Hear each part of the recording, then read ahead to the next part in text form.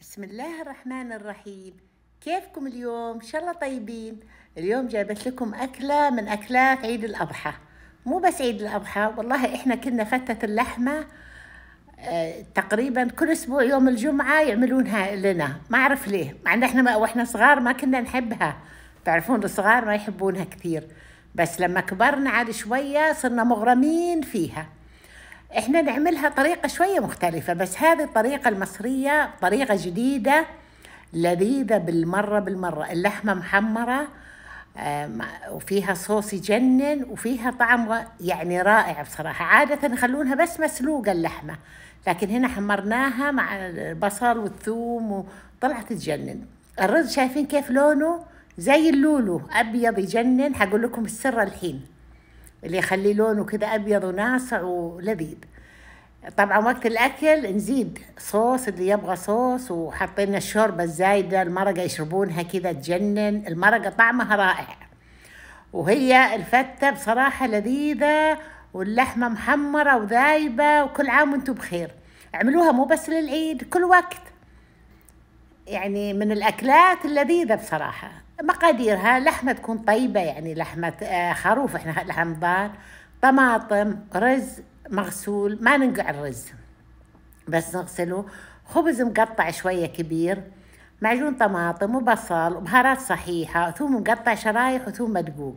يعني الفتة لازم ثوم بصراحة. الحين في قدر الضغط هذا قدر أفغاني قدر ضغط أفغاني جربته هالمرة. يعني أي قدر عادي حتى لو قدر عادي مو ضغط بس يطول المدة.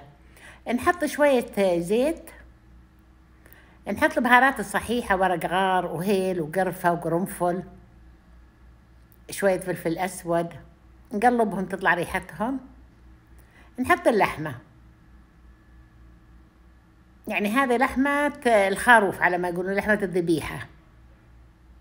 نقلبها شوية تاخذ لون من جميع الجهات. هذه الطريقة ترى تخلي اللحمة مرة لذيذة وأبدا ما فيها ريحة. نحط بصلة كبيرة حبة طماطم نحط فلفل أخضر مقطع نص حبة فليفلة باردة بس هنا في الصورة مو مبينة بعدين حطيناها. خلاص نضغطها لما تستوي حسب القدر حقكم. في قدر ساعة قدر نص ساعة حسب القدر. لما تستوي اللحمة تمام. نحط الملح. آخر شيء نخليها تغلي ربع ساعة مع الملح. نحط شوية فلفل أسود. نقلبها. نصفي المرقة. نصفيها. نحتفظ بالمرقة واللحمة على جنب والمرقة على جنب. نسخن شوية زيت. نقلب الثوم تمام لما يصفر لونه. نحط الطماطم المضروبة بالخلاط. نحط معجون طماطم. نحط شوية ملح وفلفل أسود شوية كمون شوية كزبرة ناشفة. نخليها تغلي تمام. نسقر النار نغطيها. ال- الخبز نحطه يتحمص في الفرن. في هالوقت نسخن زيت نقلب الرز. الحين خليكم معاي عشان تعرفون سر الرز الأبيض. نقلبه تمام يتشرب. يتشرب يبتدي شوية يتماسك. نحط له من مرقة سلق اللحمة. هذا السر خل أبيض. حوالي ربع فنجان ربع كوب خل أبيض وملح. الخل هو اللي حيخلي لونه أبيض وحلو. نغطيه لما يتفلفل. يكون شوية لين يعني حلو مو مرة مفلفل يابس. عندي الصوص هنا ثقل خليناه يمكن نص ساعة على نار صغيرة.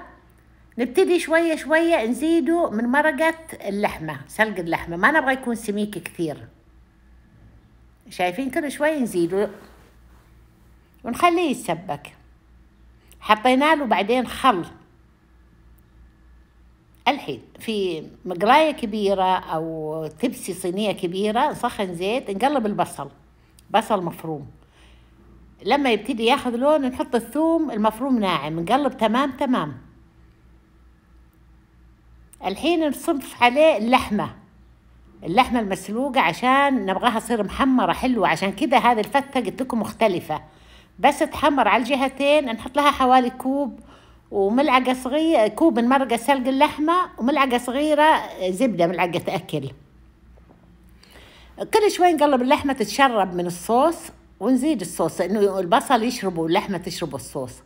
لما يصير عندي صوص ثقيل كذا تطلع الفتة رائعة يعني غير عن اللحمة المسلوقة بصراحة. تتشرب الحين من لون البصل ومن طعم البصل ومن مرقة اللحمة. نغطيها شوية تتشرب تتسبك. عشان كذا أقول لكم هذه الفتة مختلفة. نقلبها كل شوية تتشرب من المرقة وطعم البصل.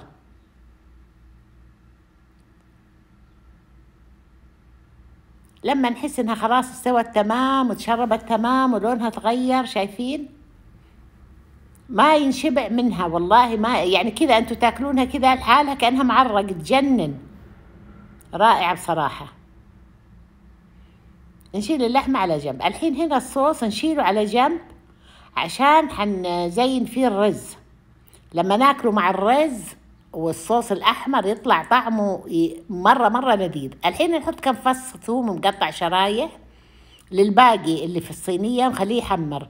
هذا بعدين حنرشه فوق اللحمة. نزيده خل بعد.